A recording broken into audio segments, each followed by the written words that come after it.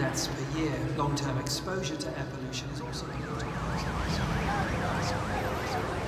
to see the Himalayan peaks for the first time in 30 years. COVID 19 lockdown measures have brought significant Health organisations are launching an appeal for global action. A recent study shows that this preventable disease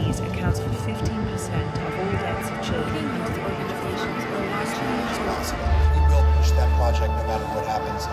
Our production lines are operating at full capacity and our engineers have been working around the clock Welcome to my brand new makeup tutorial. I know a lot of you guys have asked a ton of questions in the last one, so I decided to do another one and share my own Has been going from one patient to another, monitoring medical equipment.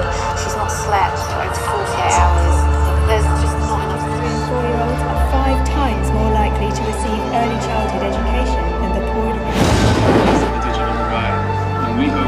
Will allow people who previously had no way of accessing to uh, access. 911, what's your emergency? Hello, did the kid in the school was done, and he just started shooting.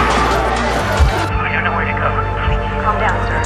2018 journalist and critic was killed after entering the consulate. particolarmente critico nei confronti del governo milanese. Millions of readers turning to independent media for information during the COVID-19 pandemic.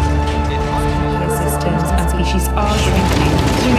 Three of the land-based environment and about 66% of the Il est considéré comme le second plus grand poisson vivant actuellement sur Terre. It allowed us to trace and monitor the COVID-19 pandemic. Next generation sequencing, we're able to generate a new We frequently travel on those roads.